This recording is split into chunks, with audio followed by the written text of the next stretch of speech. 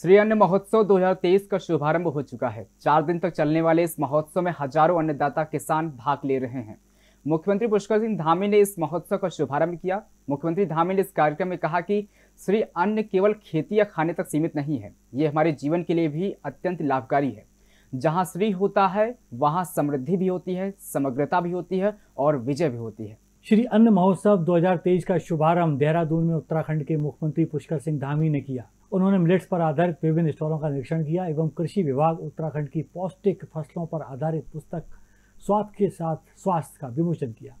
मुख्यमंत्री ने इस कार्यक्रम में कहा कि ये आयोजन श्री अन्न को बढ़ावा देने में मील का पत्थर साबित हुआ इस तरह के आयोजनों से न केवल मोटे अनाज की खेती को बढ़ावा मिलेगा, बल्कि इससे किसानों को भी मोटे अनाज से संबंधित आवश्यक जानकारियाँ प्राप्त होंगी। मुख्यमंत्री पुष्कर सिंह धामी ने कहा कि प्रधानमंत्री नरेंद्र मोदी के मार्गदर्शन व दूरदर्शिता के कारण ही आज समस्त विश्व हमारे देश की परंपरागत फ़सलों के महत्व को समझ रहा है।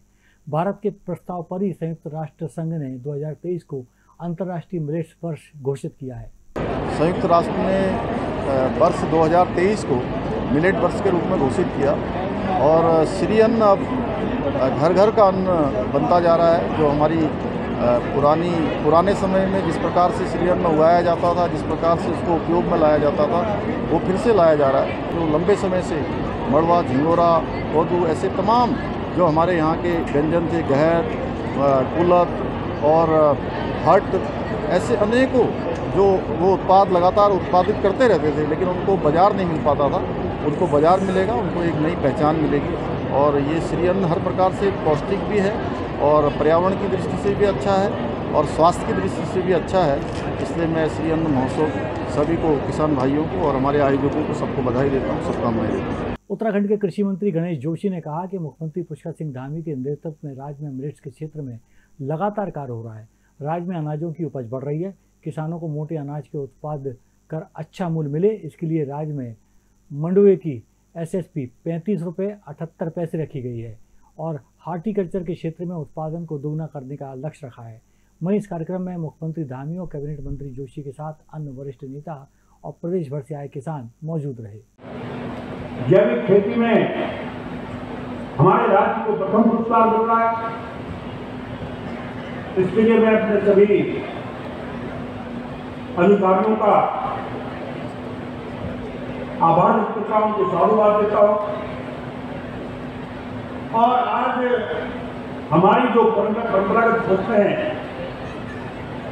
अंतर्राष्ट्रीय बाज़ार में पहचान दिलाने हेतु, भौगोलिक पहचान जीआई टैग प्राप्त करने हेतु आवश्यक कार्रवाई हमारी सरकार कर रही है। मध्य प्रदेश की महिलाओं के आर्थिक सशक्तिकरण के उद्देश्य से संवेदनशील मुख्यमंत्री शिवराज सिंह चौहान द्वारा मुख्यमंत्री लाडली बहना योजना का उपहार सभी पात्र महिलाओं को दिया गया है। इसके तहत उन्हें प्रति माह एक हज़ार रूपए दिए जाएँगे। ये राशि सीधे उनके बैंक खातों में पहुंचाई जाएगी। योजना की प्रक्रिया बेहद सरल और निशुल्क है। योजना से जुड़ने के लिए बहनों को कहीं भटकने की आवश्यकता भी नहीं है। दस जून को पहली किस्त बहनों के खाते में आ जाएगी एक हज़ार रुपया की पहली किस्त। योजना से जुड़ी अधिक जानकारी helpline number zero seven double five two seven double zero eight double zero एवं website C M Ladli Behna dot M P dot G O V dot in आरोप प्राप्त की जा सकती है। चलो लाडली बहना। वो खबरें जो आपके काम की है। वो खबरें जो आपके लिए ज़रूरी है। हर आम और खास से जुड़े मसले। हर मसले का सटीक विश्लेषण। हम करते हैं सत्य का अन्वेषण। दखल न्यूज़। आपके हक में। आप देख रहे हैं दखल न्यूज़।